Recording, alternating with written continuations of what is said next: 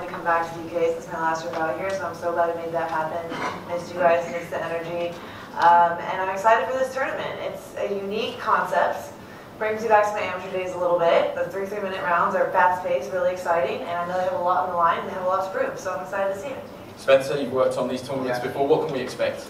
It's all about the opportunity with this tournament. You know, where we had the prize, prize fighter tournaments before, now this is slightly different. The prize fighter tournaments were all about the ex-fighters coming back down, you know, your ex-world champions, the likes of Robin Reid and stuff, at the back end of their careers. This is for the kids, the grassroots, giving them the opportunity, giving them the platform. And uh, yeah, that's, that's the exciting thing about this. We've got six kids in this that are unbeaten out of the eight. Um, they're all like 1 and 0, 2 and 0, 3 and 0, so it's a huge opportunity for all of them. It's like their world title fight, and that's what I love about it. And if you ask me who's favourite, who would you go for, I really can't pick it. You know, they've all got equal qualities, and um, yeah, it's going to be exciting. It could all be about the draw. Well, that's the, the beauty of this. The guys, all, all eight of them there, they don't know who they're going to face, but let's find out now. Michaela's going to draw first, so that's home corner. Spencer's going to draw the away corner. Let's get it out of the way. So this is quarter finalist number one, home fighter.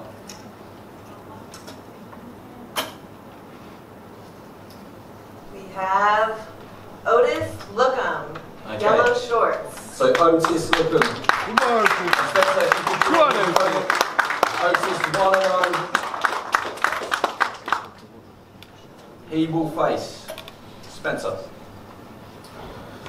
We've got Dylan Chima. Orange.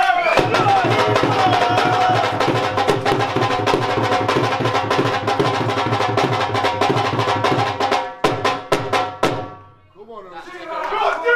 Dylan, home fa- hometown favourite. What is it going to take to beat Otis? gonna win. Turn up and win. Punches faces, punching punches made. Simple as that. Win by any means necessary.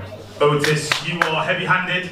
Uh, you're very tall for a lightweight. Also, how are you going to beat Dylan? He's not. Punch me in the face. Punches faces. As simple as that. As simple as that. Who wants this more? I'm here to win. Look at me, look at the crowd. We're ready to go. I'm sitting with a smile on my face because I'm gonna enjoy punching faces. Otis, how are you going to deal with the crowd that Dylan's going to bring? Don't bother me, mate. I'm doing this for my family, so I'm bringing it home. Good luck to both of you. Come on, Otis. Taylor, please.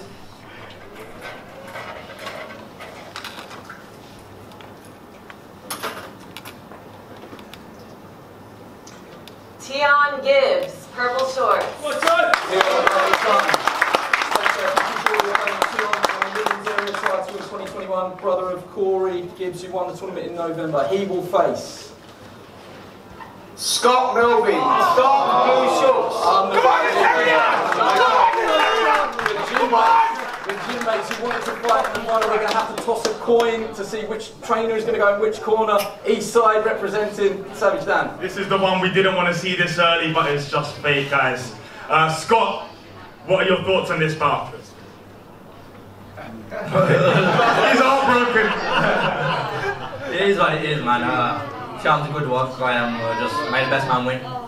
Tion, what about you? It's a bit of a madness, isn't it? but yeah, man, we'll get in there. We'll figure each other out. We'll move, man. We'll move. It is about the luck of the draw. You guys have obviously sparred a lot of rounds with each other. How do you beat Scott? Just do my thing. Like he's gonna do his thing. I'll try to figure him out. He's gonna try to figure me out, and we move forward. Scott, any final messages as you look into Tion's eyes? Best of luck. Good luck to both of you. Unbelievable. Just remember, these are the two first fighter.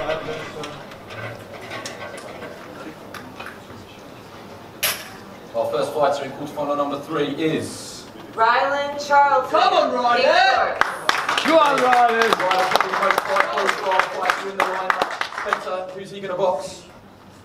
He is going to box. Joe Hughes, red shorts. Joe, under the shoes. Up and come, Joe. Bigger punch than his record suggests. This looks like a good one on paper. Savage Dan. Rylan, you are the most experienced and high profile fighter in this tournament. You've got a come forward style. Does anything change on Saturday night? Are you still coming forward? Now I'm on a back foot, a bit of switching, switching and all that. Wait and see. Is that mind games or is that seriously what you're going to do? Of course I am. The Pints by the Powerhouse is coming to give it some. Joe, how do you deal with a man that's just going to come onto you and onto you and onto you? Meet him in the middle of the ring, beat him up. Simple as that. Fire with fire? Beat, his own, beat him at his own game. How do you beat Joe? I'm going to knock him out. Any reply? Try me, but I don't think he is gonna. They both look ready to me. Good luck to both of you boys. All the best. Yeah, good stuff. So here's the tournament plan lineup. First fighter in quarter-final number four is going to be Sean Cooper, light blue shorts. and Spencer. Let's complete this. Sean Cooper is boxing Brooklyn Tilly Green Shorts. Second youngest in the field against the most experienced. Nice dynamic. Sammy Dan. Sean, how are you going to make your experience tell on Saturday night? Take him to the deep waters where he hasn't been. I've been there, so yeah, kind of box his head up. How do you take his experience from him and turn it into a negative? I've been sparring some big boys. Uh, I've been sparring with the English champion, uh, Lenny Fuller. A lot of big boys, so um, I've been to the deep waters. There's a lot of talk that because you are such a seasoned pro, you may not be able to adjust to the three-minute rounds, uh, the three rounds, sorry. Um, what do you say about those critics? Well, yeah, I've been in the amateur days as well, and I've been training freeze, sparring free freeze, and look, it's, it's going to be done on that Saturday night. I'm going to show this training I've trained hard for these free freeze, so let's, let's get on. Sean, uh, sorry. Look Sean in the eyes and tell him what you're going to do to him on Saturday night. I'm gonna box him. I'm gonna I'm gonna bring it to him for three rounds straight. So, yeah, tune in. Good luck to both of you. Good, Sean! And that is it. That's-